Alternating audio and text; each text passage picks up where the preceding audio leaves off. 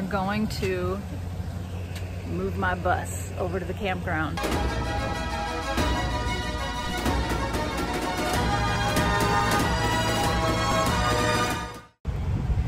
What's up guys?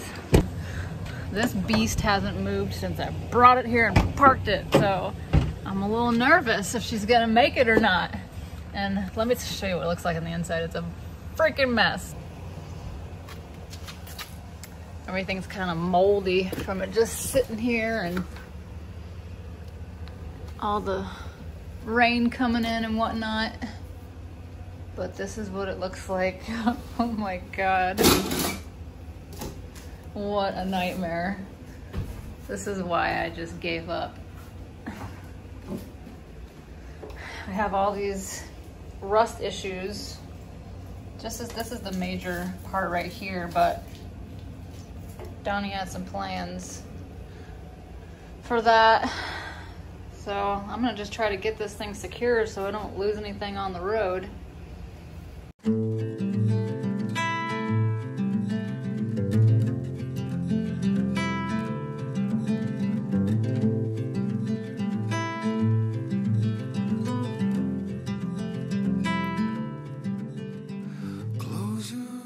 All right, let's give her a crank.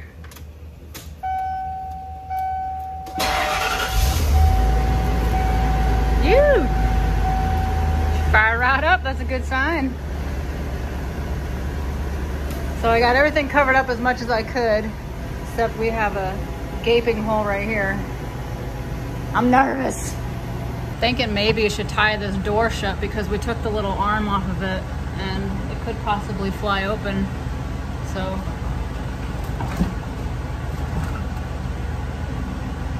No, you think it's good?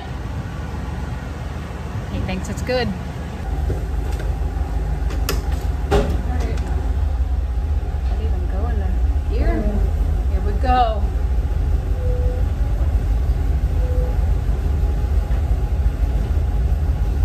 Get this flipping pig on the road.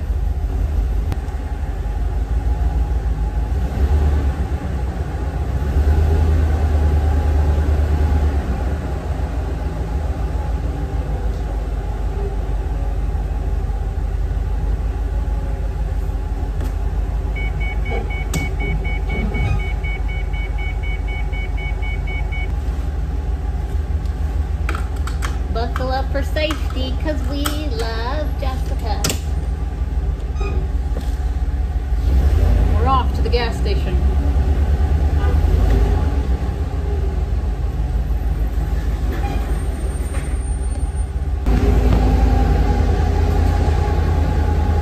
Oh my god, this thing is such a pig!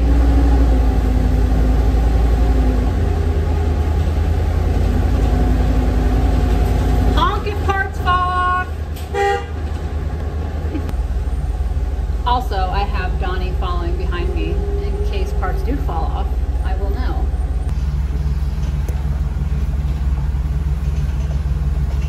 It's like driving a U-Haul. Is it better once you're driving, like the exhaust?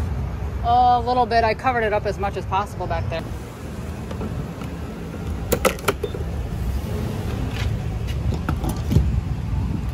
What makes a Wawa Club? Crispy bacon turkey. Look at the street lights. We got about one working light each direction.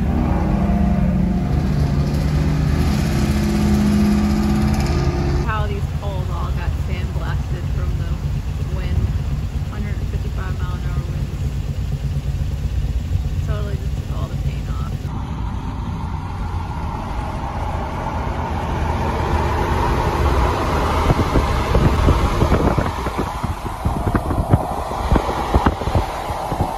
I knew it! I knew they were gonna come open! I always listen to my gut instincts. Always listen to your gut instincts, women. Oh, they won't come open. Yeah, they came open. I don't remember if I even got that part on film where I was saying, do you think we should tie the door? Maybe I did get it on film, I don't know. Either way, I knew it. What are we gonna attach it to? My armrest here, Not a bad idea. It's or the better. bottom of the um thing, The bottom of the seat. No, say this would be the best bet. All right, so we got this thing all jerry rigged up. No offense to Jerry, you have some really great ideas. All right, guys, so we are back in the races. I'm just gonna just tie this up a little bit more. You know, you never know.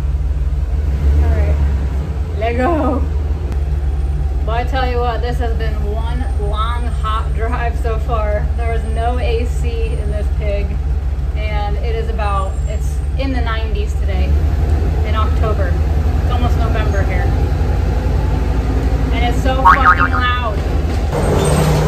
If you ever wondered what it was like to go through a hurricane, this is kind of what it sounds like.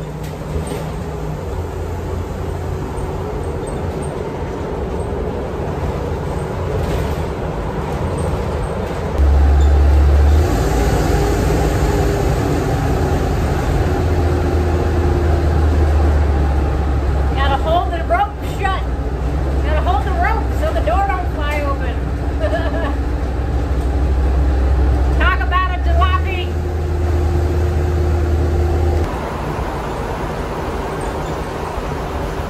It's getting wider and wider. Hang on, baby, hang on. All right, I just stopped and had Donnie tighten it some more. So hopefully that'll be fine till we get back. Hey, it's me. New day. I didn't finish filming when I got back here just because it was really windy and it started to rain a little bit and I was just exhausted. So, um, yeah.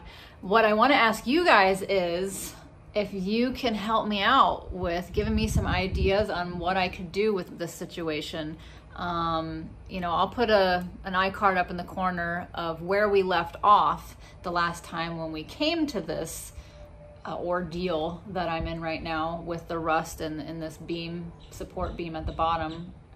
And uh, now I know I have more subscribers than I did back then. I think I was only at a thousand subscribers when that video came out, and now I'm just over 4,000 subscribers. So with that, that means I have a lot more eyes and ears that could possibly be helping me out with what I could do.